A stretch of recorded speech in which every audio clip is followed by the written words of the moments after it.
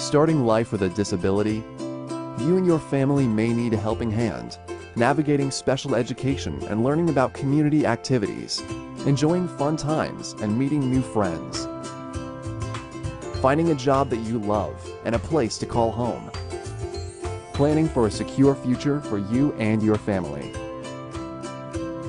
For every age and stage of life, get started today. Visit the ARC of Northern Virginia.